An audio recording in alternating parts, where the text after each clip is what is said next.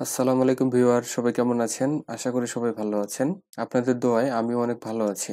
আমরা আমাদের পিসির গতি বাড়ানোর জন্য অনেক কিছুই করে থাকি, অনেক পদ্ধতি অবলম্বন করে থাকি।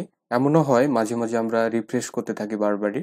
আসলে রিফ্রেশ করলে কি হয়? এই ব্যাপারটা আমাদের জানা দরকার আছে। তো আমরা স্বাভাবিকভাবে যদি আমাদের পিসিটিকে রিফ্রেশ করি, অর্থাৎ মাউস রাইট বাটন ক্লিক করে এভাবে যদি রিফ্রেশ করা হয়, তাহলে সি ড্রাইভ শুধু রিফ্রেশ হয়। অর্থাৎ আমাদের সি ড্রাইভটা তাৎক্ষণিক কাজের জন্য উপযুক্ত হয়। অথবা কিবোর্ডের যে এফ ফাইভ কি আছে, এই এফ ফাইভ কি প্রেস করেও আমরা কিন্তু খুব সহজেই রিফ্রেশ করতে পারি শর্টকাট কমান্ড হিসেবে। কিন্তু আমরা যদি চাই যে আমাদের পিসিতে যতগুলো হার্ড ডিস্কের ড্রাইভ আছে, সবগুলো ড্রাইভকে আমরা চাইলে রিফ্রেশ করতে পারি। তো এজন্য আমাদেরকে ছোট্ট একটি কোড ব্যবহার করতে হবে। তো চলুন তাহলে আজকের ভিডিওটি শুরু করা যাক।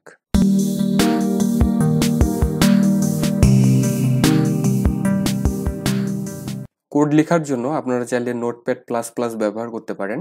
অথবা যদি নোটপ্যাড প্লাস প্লাস না থাকে, তাহলে নোটপ্যাড ব্যবহার করতে পারেন। তো আমি ধরে নিচ্ছি যে আমাদের পিসিতে নোটপ্যাড প্লাস প্লাস নেই। তাই আমি নোটপ্যাড দিয়ে এই কাজটি দেখাবো। তো এই জন্য আমি নোটপ্যাড প্লাস প্লাস হতে বের হয়ে যাচ্ছি। এখন ডেস্কটপে মাউস রাইট বাটন ক্লিক করে আমরা নিউতে যাব। নিউ থেকে আমরা এখানে টেক্সট ডকুমেন্ট দেখতে পাচ্ছি। এখান থেকে আমরা ওপেন করতে পারি, অথবা আমরা সার্চে গিয়ে এখানে নোটপ্যাড টাইপ করব।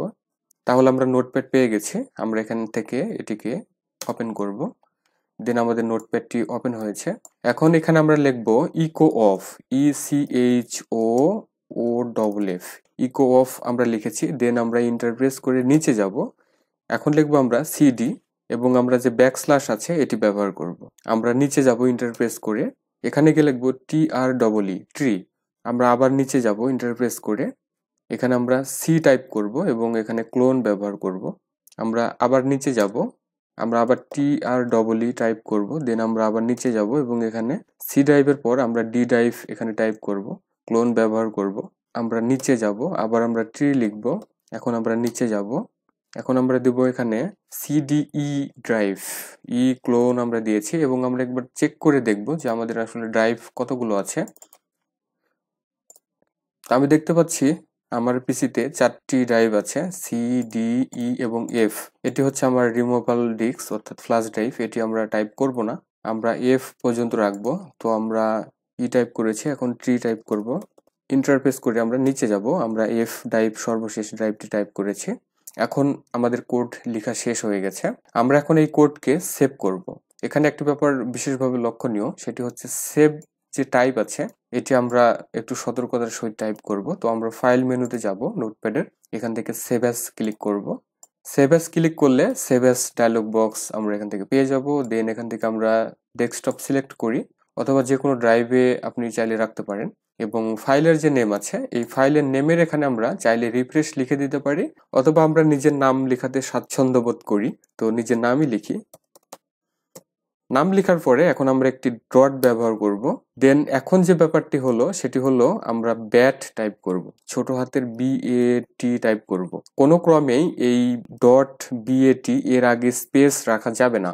আমরা ডাইরেক্ট যে নামই লিখতে চাই না কেন, নাম লেখার পরে আমরা একটি ডট ব্যবহার করে ডট বিএটি এটি আমরা টাইপ করব। এই ডট বি বিএটি হচ্ছে ব্যাচ ফাইলের file extension dot B BAT তো আমাদের ডট বিএটি টাইপ করা হয়ে গেছে। এখন জাস্ট আমরা এখান থেকে সেভ বাটনে ক্লিক করব। আমরা এই কোড হতে বের হয়ে যাব। আমরা দেখতে পাচ্ছি এখানে আহসান নামের একটি ব্যাচ ফাইল ক্রিয়েট হয়েছে, অর্থাৎ উইন্ডোজ ব্যাচ ফাইল ক্রিয়েট হয়েছে। এখন জাস্ট এখানে আমরা ডাবল ক্লিক করব। তাহলে দেখুন কমান্ড ইএক্সজি নামের একটি অপশন এখানে চালু হয়েছে এবং আমাদের সবগুলো ড্রাইভ রিফ্রেশ হচ্ছে। এখন কথা হলো, এই রিফ্রেশ আমরা কখন করব। আমরা স্বাভাবিকভাবে যে রিফ্রেশ করি, ঠিক সেভাবে আমরা এই রিফ্রেশটি ব্যবহার করতে পারি। অথবা আমাদের পিসি যখন হ্যাং হয়ে যাচ্ছে, অথবা অনেকগুলো প্রোগ্রামে আমরা কাজ করছি, সেক্ষেত্রে আমাদের পিসিটি স্লো কাজ করছে।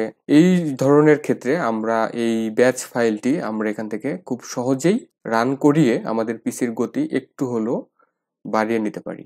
তো ভিওয়ার ভিডিওটি এ পর্যন্তই। আমার এই ভিডিও থেকে বিন্দু পরিমাণ যদি কোনো বিষয়বস্তু শিখতে পারেন, তাহলে আমার রিকোয়েস্ট আপনার কাছে থাকবে। আমার চ্যানেলটি অবশ্যই সাবস্ক্রাইব করবেন। পাশে যে বেল আইকনটি আছে, এটিকে অবশ্যই প্রেস করে রাখবেন। আর ভিডিওটি অবশ্যই শেয়ার করবেন লাইক করবেন। আজকের মতো এ পর্যন্তই। সবাই ভালো থাকবেন। আসসালামু আলাইকুম।